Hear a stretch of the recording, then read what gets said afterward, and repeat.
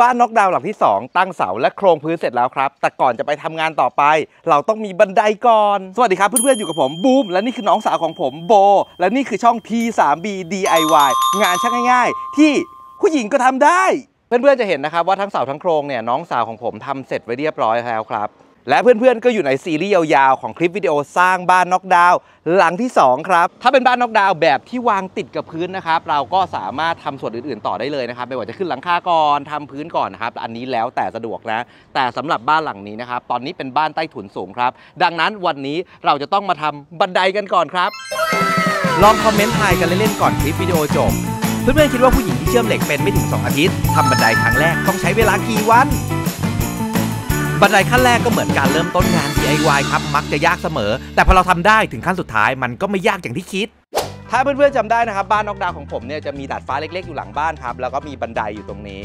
บันไดแบบนี้เวลาเราใช้งานจริงนะครับ ต้องระมัดระวังพอสมควรเลย บันไดที่ผมทำเนี่ยไม่มีราวบันไดข้างนะครับ เพราะฉะนั้นเวลาขึ้นเนี่ยจะต้องจับลูกบันไดด้านหน้านะครับหรือจับราวนะครับที่เป็นโครงสร้างอยู่ด้านข้างตรงนี้ตอนขึ้นไป แต่สำหรับบ้านนอกดาวหลังนี้นะจะเป็นบ้านที่มีทั้งผู้หญิงและเด็กมาใช้นะครับดังนั้นเราควรจะทำบันไดให้มีความปลอดภัยมากขึ้นครับ วันนี้เราจะมาทำบันไดท้องคู่สำหรับขึ้นบ้านกัน ส่วนประกอบของบันไดนะครับเราก็จะมีแม่บันไดหรือว่าบางคนก็เรียกว่าท้องบันได ที่จะทำวันนี้เป็นแม่บันไดคู่ครับส่วนที่ทำก่อนหน้านี้เป็นแนวล็อฟผมทำเป็นแบบแม่บันไดเดี่ยว ตัวแม่บันไดเนี่ยผมใช้เหล็กกล่องขนาด 3 นิ้วคูณนิ้วครึ่งความหนา 2 มิลครับ ตอนนี้นะครับเราจะเริ่มจากการเชื่อมแม่บันไดทีละข้างครับ และนี่คือฝีมือเชื่อมของคนที่เพิ่งหัดเชื่อมไม่ถึง 2 อาทิตย์นะ ก็จะเชื่อมได้ประมาณขนาดนี้ เชื่อมแม่บันไดเสร็จหนึ่งข้างนะครับ เพื่อนๆจะเห็นว่า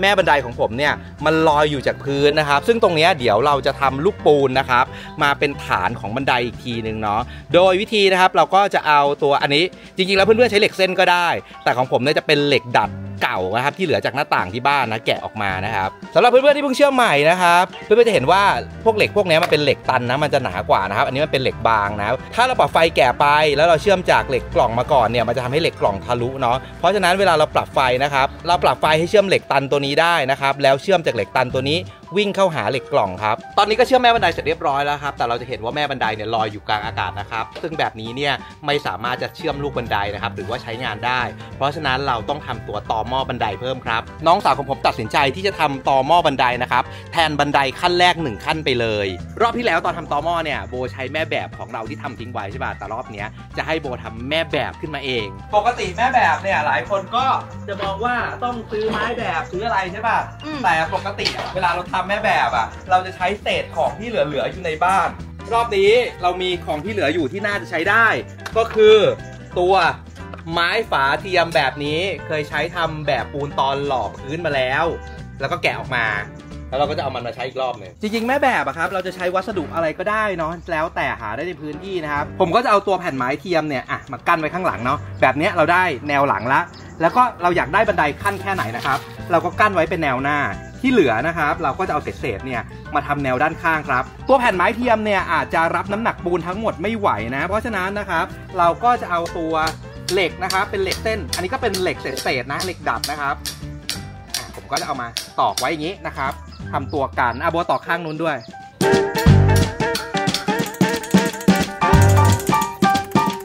ทีนี้เวลาล็อกไม้แบบ ถ้า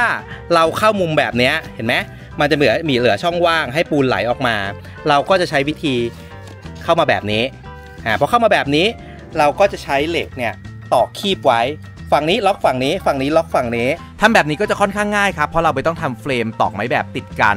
แล้วก็สามารถกันปูนไม่ให้ไหลออกไปนอกไม้แบบได้ครับ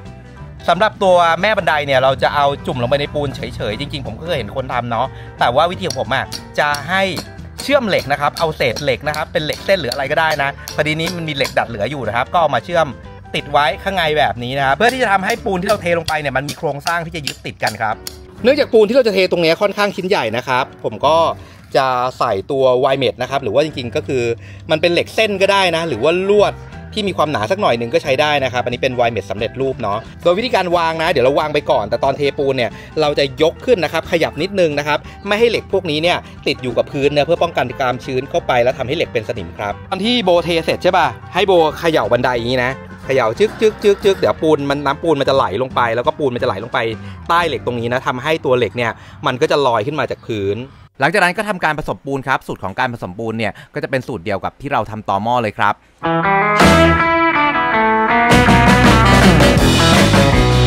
หลังจากนั้นก็เทปูนลงมาในแบบได้เลยครับทำการเขย่าบันไดนิดนึงนะครับ เพื่อให้ปูนเนี่ยเข้าไปใต้ตัวเหล็กสำหรับคนที่ทำงานปูนด้วยตัวเองนะครับ โดยเฉพาะงานพื้นกับงานตอหม้อผมแนะนำเลยนะให้ใช้โม่มินินะครับเพราะว่าช่วยประหยัดแรงได้เยอะมากๆ ดี๋ยววันนี้นะครับเราเทปูนให้เต็มแม่แบบนะครับแล้วก็ปาดเก็บไว้ก่อน แล้วเดี๋ยวพรุ่งนี้มาว่ากันอีกที ตอนนี้แม่บันไดของเราก็แข็งแรงพร้อมจะขึ้นไปขย่มได้แล้วนะ เพราะว่ามันเป็นปูนทั้งลูกเลยนะครับทำให้ ตัวแม่บันไดนะครับ หรือว่าท้องบันไดของเราเนี่ยก็นิ่งแล้วก็แข็งแรงไม่มีกระพือและถึงแม้ว่าจะเป็นเหล็กกล่องก็ตาม ทีนี้ต่อมาที่เราจะมาทำกันนะครับ ก็คือตัวจมูกบันได ตอนที่ผมทำแม่บันไดเดี่ยวเนี่ยผมก็ใช้เหล็กกล่องทำจมูกบันไดนะครับแล้วจมูกบันไดเนี่ยก็จะเชื่อมวางไว้บนตัวเหล็กกล่องที่เป็นแม่บันไดเลยนะ ทีนี้รอบนี้นะครับเพื่อที่ทำงานง่ายขึ้นด้วยนะครับ แล้วก็แข็งแรงขึ้นด้วยประหยัดด้วยนะครับผมก็เลยเลือกใช้เหล็กฉากสำหรับทำจมูกบันไดครับ โดยสเปคของลูกบันไดนะครับปกติแล้วนะความกว้างของบันไดนะครับที่เหมาะสมแล้วก็เดินง่ายนะครับก็ควรจะมีความกว้างมากกว่า 80 เซนหรือประมาณสัก 85 เซนก็กำลังสวยนะใครจะใหญ่กว่านั้นก็ได้แล้วแต่สะดวก ส่วนลูกตั้งนะครับหรือว่าความสูงนะก็ควรจะอยู่สักประมาณ 18 เซนนะครับหรือว่าใครจะทำน้อยกว่านั้นก็ได้ ยิ่งน้อยก็จะเดินง่ายนะครับแต่ว่าถ้าเกิดยิ่งสูงนะครับเวลาก้าวเนี่ยมันก็จะก้าวยากนะครับออกแรงเยอะนิดนึง ทีเนี้ยสำหรับคนที่อยากเดินง่าย ๆ เลย มันก็จะมีสูตรโกงนิดนึงบันไดเนี่ยเราก็จะตั้งลูกบันไดให้ได้ฉากแบบนี้เนาะถ้าเกิดใครอยากเดินง่ายนิดนึงนะครับ ให้แอบเอียงองศาขึ้นนิดนึงแบบนี้ เวลาเดินอะ มันจะรับหน้าเท้า มันจะไม่ไม่ไหล มันจะไม่เหยียบปลายแล้วลื่นปึ๊ดลื่นปึ๊ดเนาะ มันก็จะรับหน้าเท้า อันนี้แล้วแต่เนาะ แต่ว่าเราจะไม่ทำบันไดให้องศามัน ย้อนลงมาทางนี้ เพราะไม่งั้นเวลาเดินเนี่ย ถ้าเกิดเราเหยียบตัวจมูกบันไดเนี่ย มันอาจจะลื่นปึ๊ดล่วงลงมาข้างหลังได้ แล้ววิธีการป้องกันของเราเนาะ เดี๋ยวอนาคตนะครับ พอเราทำเสร็จแล้วเนื่องจากว่ามันเป็นบันไดเหล็กนะ มันมีโอกาสลื่นง่ายมากๆนะครับ เราก็จะทำการติดตัวแผ่นกันลื่นครับ ลักษณะการเชื่อมลูกบันไดนะครับผมก็จะให้น้องเชื่อมแบบนี้เนาะการทำบันไดนะครับที่ยากที่สุดก็คือขั้นแรกครับ เพราะว่าถ้าเราทำบนพื้นที่เป็นดินแล้วยังไม่ได้ปรับระดับเรียบร้อยนะ เราก็ต้องวัดระดับน้ำให้ดีครับพอทีนี้พอขั้นแรกอะเราวัดระดับน้ำดีแล้ว แล้วมันตรงได้ระดับแล้วอะ ขั้นต่อไปเราก็วัดจากขั้นแรกได้เลยส่วนวิธีวัดองศาบันไดนะครับผมก็เอาง่ายๆนะ เราใช้เทคโนโลยีนิดนึง นะครับอะผมก็จะตั้งองศานะครับ ให้รับหน้าเท้าไว้นิดนึงนะ ลบไปประมาณ 2 องศาครับ ถ้าได้บันไดขั้นแรกแล้วขั้นต่อไปมันก็จะง่ายเองทีนี้พอเราเชื่อมเสร็จนะครับ เราก็จะเอาลูกบันไดมาลองวางดูเนาะเทคเทคนิคที่จะทำให้การปรับมันง่ายขึ้นก็คือ ตรงส่วนนี้นะครับ ตรงจมูกบันไดส่วนนี้นะเราอย่าเพิ่งเชื่อมเนาะเราจะได้สามารถพอที่จะขยับได้นะ เวลาที่เรา ตัดมานะครับ หรือเชื่อมมาไม่ตรงนะ เราจะมาปรับระดับอีกทีนะครับ ด้วยสายตาเบี้ยวทุกอันของเรา ต่อมาสำหรับลูกบันไดนะ วันนี้ผมจะใช้ลูกบันไดเหล็กนะครับ ก็คือเอาเหล็ก กล่องเนี่ยแหละนะมาตัดทำลูกบันได แล้วทำไมถึงไม่ใช้ลูกบันไดสำเร็จรูปนะครับจริงๆ เพื่อนๆสามารถใช้ลูกบันไดสำเร็จรูปก็ได้นะาจากที่ผมคำนวณค่าใช้จ่ายแล้วเนี่ยลูกบันไดสำเร็จรูปเนี่ยมันแพงกว่าครับลูกบันไดที่เป็นไม้จริงนะครับถ้าเป็นไม้ราคาถูกอย่างพวกไม้ยางเนี่ยใช้ภายนอกเนี่ยมันมีโอกาสที่จะผุแล้วก็เสียหายได้ง่ายมากๆนะครับส่วนลูกบันไดที่ เป็นไม้เทียมคุณภาพดีๆนะครับ ราคาก็สูงมากเลยทีเดียว และถ้าเราไม่ชอบสัมผัสของตัวลูกบันไดเหล็กแบบนี้นะครับ หรือว่ากลัวลื่นนะ เราก็ติดแผ่นกันลื่นนะครับ หรือว่าในอนาคตเนี่ยเราสามารถซื้อตัวแผ่นไม้เทียมนะครับ หรือว่าจะเป็นไม้จริงก็ได้มาแปะด้านบนนะครับ แล้วเวลาที่มันเสียหายหรือมันเก่านะครับ เราก็สามารถแยกเปลี่ยนได้ครับ บันไดขั้นหนึ่งเนี่ยผมให้ใช้เหล็กกล่องขนาด 3 นิ้ว 2 ชิ้นนะครับ วางแยกกันไว้แบบนี้ ความลึกของลูกบันไดถ้าจะให้เราเดินสบายเนี่ยควรจะมีขนาด 25 เซนขึ้นไป ตอนนี้นะครับบันไดขั้นแรก สู่เป้าหมายก็เสร็จแล้ว แข็งแรงไม่มีย้วยไม่มีหย่อนสบายมากนะแบบนี้แล้วก็ทีนี้โบนะ ไปขั้นต่อไปจนถึงจุดสูงสุด ใช้เวลา 3 วันนะครับ ก็ผ่านไปครึ่งทาง ตอนนี้บันไดผ่านไป 4 ขั้นแล้วกำลังเชื่อมขั้นที่ 4 อยู่นะตกใจหมดเลยอยู่ที่กระผมอ่าวันนี้ลุยมาเลยทีเดียว 2 ขั้นพอเหล็กกล่องวางห่างกันมาเหลือช่องตรงกลางอยู่ค่อนข้างใหญ่เลยครับ ผมก็เลยให้ใส่เหล็กกล่องขนาด 1 นิ้วลงไปตรงกลาง แบบนี้เวลาเดินก็จะสบายครับไม่พลัดตกลงไปในร่อง บันไดนะครับถ้าเราดูจากขั้นแรกนะก็อาจจะแบบมีบิดบิดๆนิดนึงนะ ทีนี้พอเราทำไปเรื่อยๆเรื่อยๆเรื่อยๆตอนนี้ขั้นที่ 4 จะสังเกตว่าทั้งตัดทั้งวางทั้งเชื่อมนะครับก็เข้าที่เข้าทางตรงล้วทุกคนครับนี่คือวันที่ 4 ของการทำบันไดบ้านน็อกดาวน์นะครับวันนี้ผมตื่นสายนะเดี๋ยวมาดูหน่อยนะครับว่าบันไดเนี่ยไปถึงไหนกันแล้วเฮ้ยเฮ้ยเฮ้ยเฮ้ยตื่นสายแป๊บเดียว บันไดจากขั้นแรกจะถึงขั้นสุดท้ายแล้ว จะเสร็จแล้วไงเย้ ขั้นแรกนะครับ เริ่มด้วยความทุลักทุเลนะครับ แล้วก็ทำมาทำมาทำมายิ่งเกิดการทำซ้ำนะ ยิ่งมีประสบการณ์นะครับ ประสบการณ์สร้างได้ด้วยการเริ่มทำในครั้งแรก ต้องบอกเพื่อนๆทุกคนก่อนนะครับว่าก่อนที่เราจะทำบ้านเองนะครับเราควรจะศึกษาโครงสร้างทางวิศวกรรม จริงๆ เรื่องเหล่านี้เราสามารถศึกษาได้ในอินเทอร์เน็ตนะครับเพราะว่ามีทั้งอาจารย์นะครับและวิศวกรหลายท่านนะครับอธิบายไว้ บางคลิปวิดีโอเนี่ยใช้สำหรับสอนเด็ก ปวช เด็ก ปวสนะครับซึ่งละเอียดมากๆ หลังจากที่เราดูคลิปวิดีโอนะครับเข้าใจเรื่องโครงสร้างพอประมาณนะครับให้เราดูพวกแบบงานก่อสร้างนะครับจริง ๆ แบบงานก่อสร้างเนี่ยเราก็สามารถหาโหลดดูได้ทั่วไปตามอินเทอร์เน็ตเช่นกัน ไม่ว่าจะเป็นแบบบ้านน็อกดาวน์แบบโครงสร้างอาคารแบบหลังคาโรงจอดรถ แถมบางแบบเนี่ยเขายังมีคำอธิบายไว้ให้เราเข้าใจง่าย ๆ แล้วก็ละเอียดมากๆครับ ก่อนที่เราจะทำชิ้นงานอะไรหรือก่อนที่จะสร้างบ้านนะครับ เราควรจะไปดูงานจริง ๆ นะครับ งานจริง ๆ อาจจะไม่ใช่บ้านน็อกดาวน์แบบนี้ก็ได้ แต่เป็นโครงสร้างที่มีลักษณะคล้ายกัน เช่น ถ้าเพื่อนๆอยากจะสร้างบ้านน็อกดาวน์เพื่อนๆลองไปดูแบบอาคารโรงจอดรถนะครับ ถ้าใครนึกไม่ออกก็พวกโรงจอดรถตามห้างสรรพสินค้าใหญ่ ๆ เพราะโครงสร้างเหล่านี้มักจะมีวิศวกรเป็นผู้ควบคุมการก่อสร้างครับ แล้วสุดท้ายนั่นก็คือการสร้างบ้านด้วยตัวเองนะครับ หลายคนก่อนสร้างบ้านจะรู้สึกกังวลมากๆ ว่าเราสร้างเอ๊ะเราจะเชื่อมแข็งแรงไหมตรงนั้นต้องเชื่อมไหมจุดนี้ต้องเชื่อมไหมต้องเชื่อมทั้งหมดเลยหรือเปล่า แต่พอได้ทำงานจริง ๆคำถามเอ๊ะตอนแรกว่าแบบพี่บูมเชื่อมตรงนี้มันจะได้ไหมเชื่อมตรงนี้จะแข็งแรงไหมตอนนี้คือ รู้เลยว่าต้องเชื่อมตรงไหนแล้วถึงจะแข็งแรงตรงไหนเชื่อมไปแล้วไม่มีประโยชน์ เพราะว่าทำหักไปด้วย เชื่อมไปหักไป